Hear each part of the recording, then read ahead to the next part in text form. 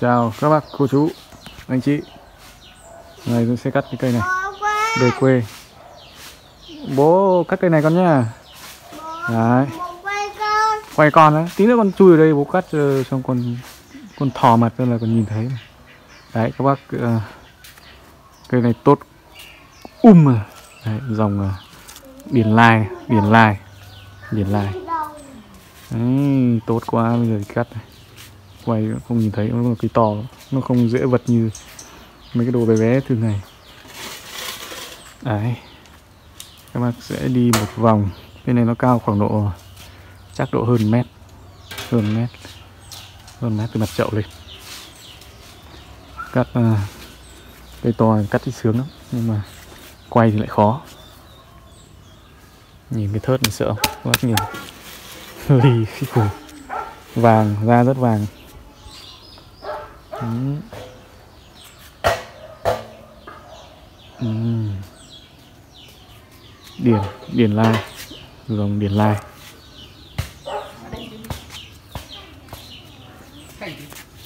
Đấy, tôi thích cái thớt nó như này Nó phải già thì nó được như này. Và cái đoạn thân nó tự nhiên này Thích. Đấy. Đấy, ok. Dựng à, máy lên và làm thôi các bác nhé mới cắt hôm ờ, nghỉ tết đây, bây giờ vẫn lại để cắt tiếp rồi.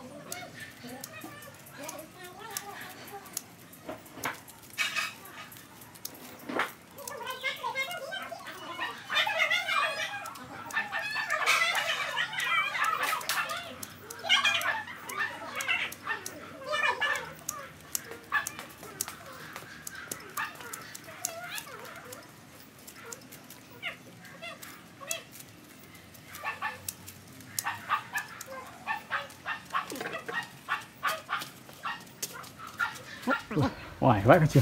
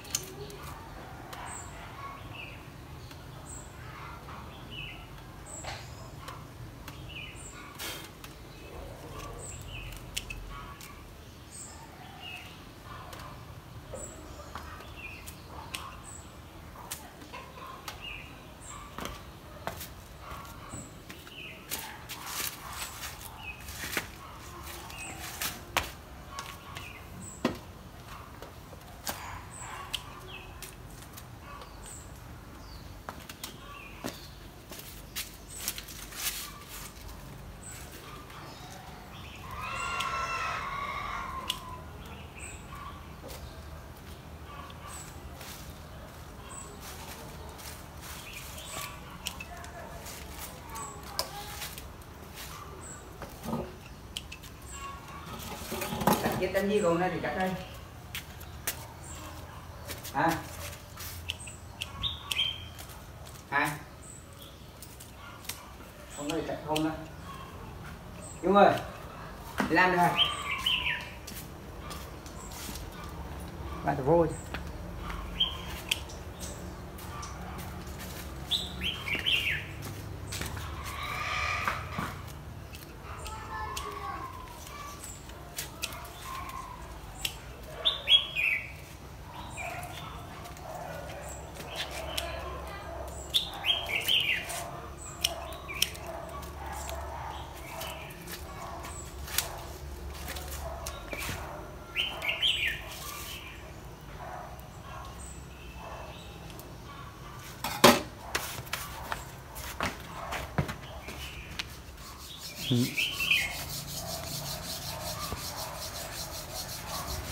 tạm ổn thế đã. Các bác cô chú anh chị ạ. Làm cây to nó vất lắm chứ. Nhặt được một cái bông này nó, để nó sạch nó kỹ thì rất mất thời gian. Bây giờ chỉ tạm thời định hình thôi. Sau một vài lần như thế này nữa thì sẽ, lúc đấy sẽ chia lại và bóc bớt được những cái trong này để cho thoáng lộ răm, mượt răm và chia lại những cái chòm nhỏ nhỏ nhỏ xong lại ghép lại thành một chòm lớn. Xong lại tổng thể thành một cái chòm của cái cây này. Đấy, sơ bộ như vậy. Nhưng mà phải phải dày thì mới lộ ra được thì lúc đấy sẽ sẽ lọc lại sau, bây giờ chỉ định hình cho có bông, có thán và cho nó dày ra lên đấy. Đấy, khi nào mà mình xác định bóc là vật sạch lá luôn. Lưu ý là chỉnh chuẩn luôn ấy. bây giờ thì vẫn chỉ để à, cái bước cho răm nó đều, nó dày đây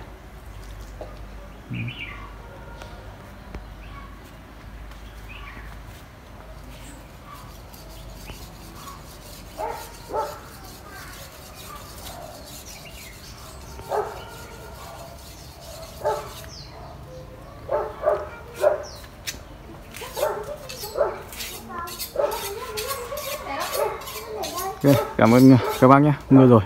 Tạm nghỉ đã, mai làm tiếp.